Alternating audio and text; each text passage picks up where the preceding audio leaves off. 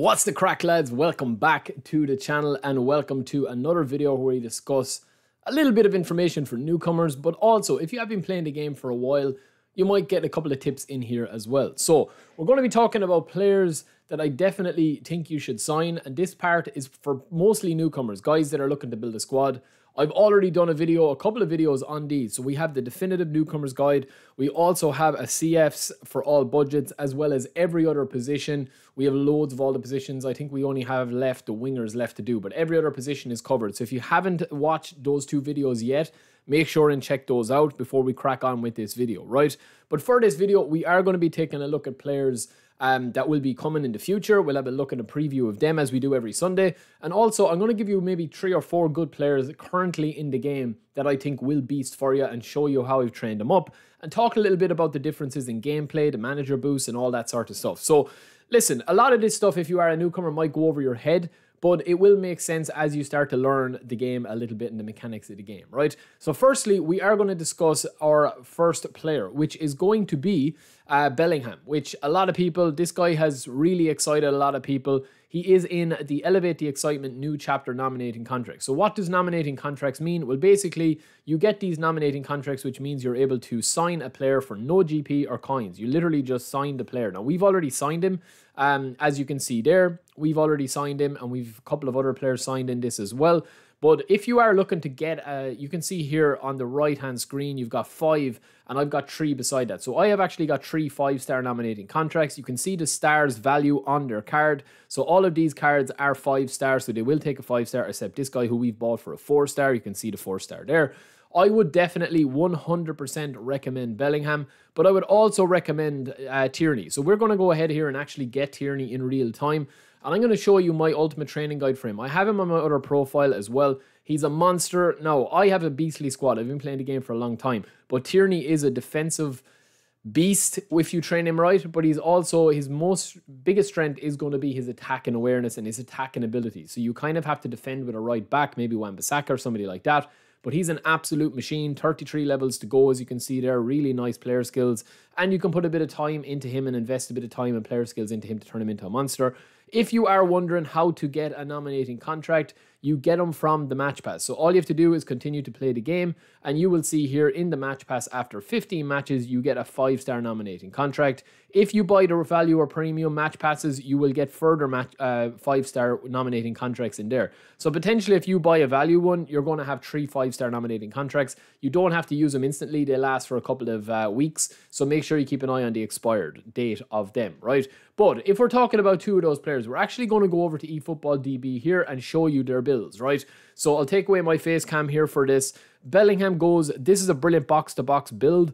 I would say that when you are starting off, these are the players that I would recommend to sign, right? I would recommend to sign Bellingham now because it's still ongoing with the nominating contract. If you watch this video in a couple of weeks, obviously this one applied here. But Bellingham standard card is still a beast, but you can get this guy for free. He's on the form of his life in Real Madrid. I think he's 10 goals scored in 10 games or something crazy like that. He's averaging Ronaldo's record when he was at Real Madrid, his first 10 appearances or something like that I was reading.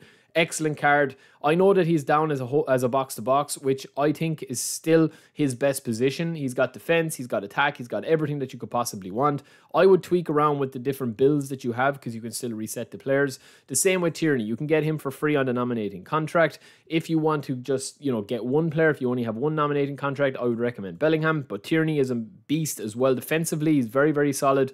A 97 acceleration with the balance 85. And all of these stats that you're seeing here, you can add a plus two because of the manager boost that you now get. That's guaranteed. It's not dependent on form anymore. It's not dependent on anything. It's guaranteed. So every single player that we build now, for example, Bellingham's true, when he's playing, his true stat is going to be 84 aggression. It's going to be 89 speed. It's going to be 85 balance plus 2, which is 87. So any of these builds that you're seeing, right, is going to be that. Now, I also want to talk about a couple of standard players that you can build your team around. And as I said, I've already covered a lot of this in this definitive newcomers guide video and in the best CS for all budgets, the best CBs for all budgets, the best left backs for all budgets and so on and so on and so on with the actual positions, right? For all budgets, there's you know bargain budget boys in there. There's hidden gems. There's players that you know are the top of the pops, um, in terms of price and, and the most value, right? But I want to talk about a couple of players that we have here. Um, you do get free standard cards as well. I never really pay too much heed to that.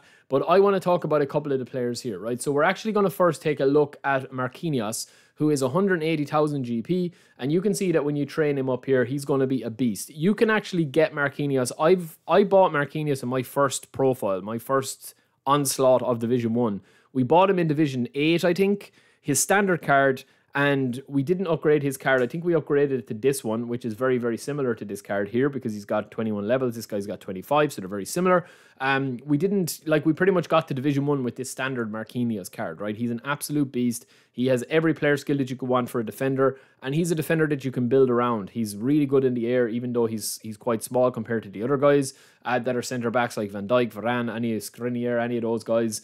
Um, I would also say that that's probably one of the most important positions you need to fill early doors. You know, you can score goals with pretty much anyone with the way that the gameplay is, but defensively, you will notice a big uptick when you are using the likes of Marquinhos or anyone that's very versatile and has got good defense and strength there. We also have Donnarumma. This is a controversial one because people will say, what about Courtois, Oblak, any of those?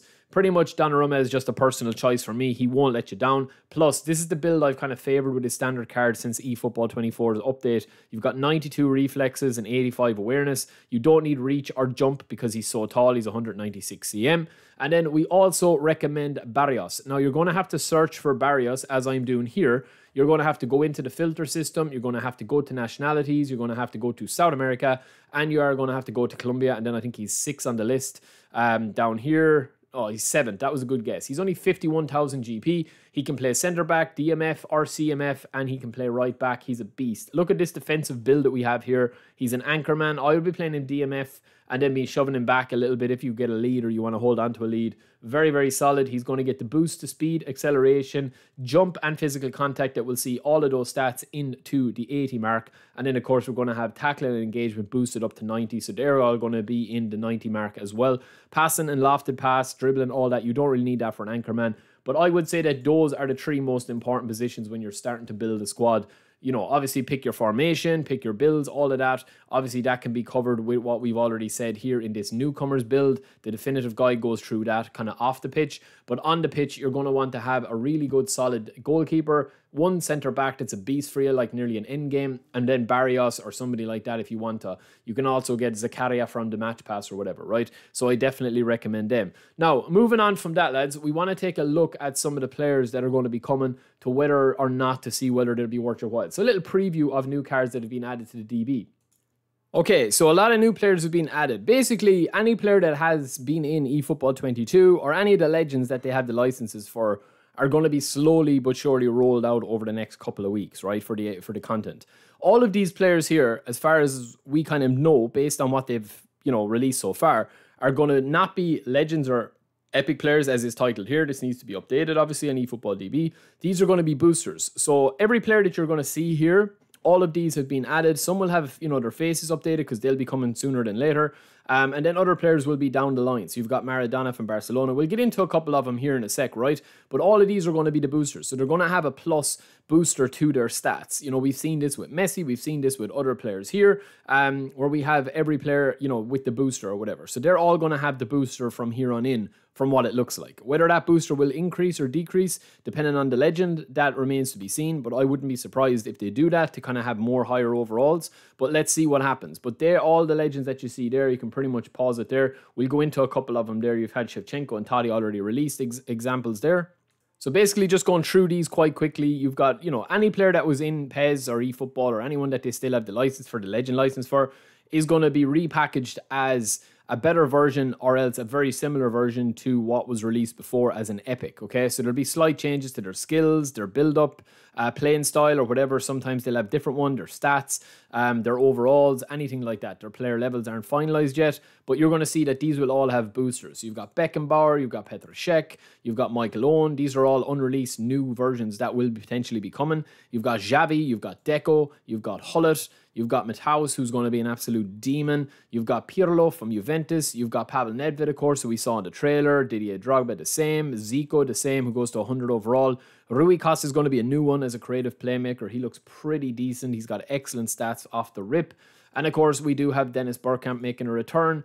Now, this one is going to be exciting, lads. We've got a 19 year old Santos version of Neymar, right? We'll do another video on him. We'll talk about it. But look at his base stats if they stay the same 88, 91, and 89 with 90 acceleration at level one.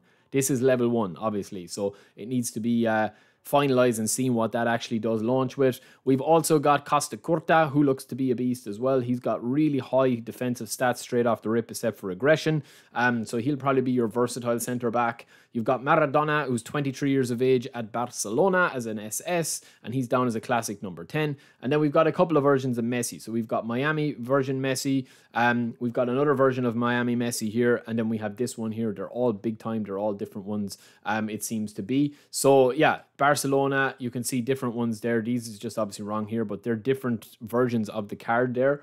Um, you can see different ages and stuff 35, 27, and 21. And then we have Guardiola, who we saw in the trailer as well. So, yeah, there's lots to there's lots to get into. There's lots to discuss. Um, hopefully that is a bit of a preview of what's to come. Let me know what you guys think. Are you hype? Are you not hype? How does the gameplay going for you? and hopefully you get a feel as well for the you know the squad and stuff.